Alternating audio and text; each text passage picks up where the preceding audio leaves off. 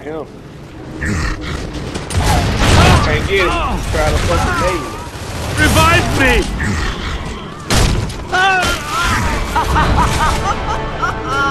yes! Yes! Now they begin to understand.